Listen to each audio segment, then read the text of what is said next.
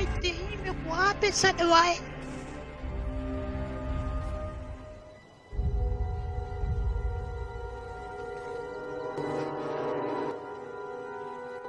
E um coirá de desale.